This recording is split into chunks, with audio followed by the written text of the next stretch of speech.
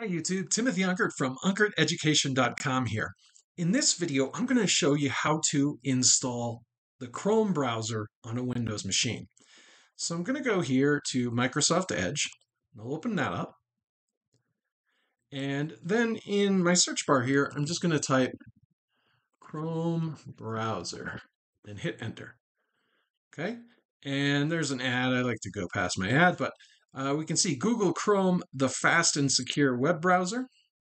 Okay, so I'm going to click on that. I'm going to close that out. And I'm going to download Chrome, and this is for Windows 11 and 10. So I'm going to click download.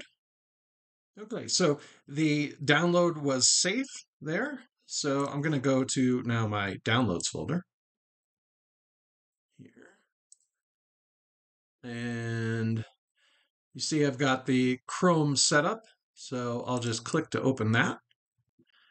And after it asks me to make changes to my computer, it's going to download and set up Chrome for me. Now you can see it is installing.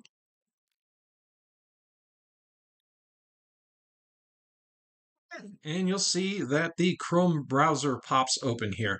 And I can go ahead and sign in with my Google account and get all my various uh, bookmarks and so on imported. Hopefully this video was helpful to you. If it was, please make sure to like and subscribe. Thank you for watching.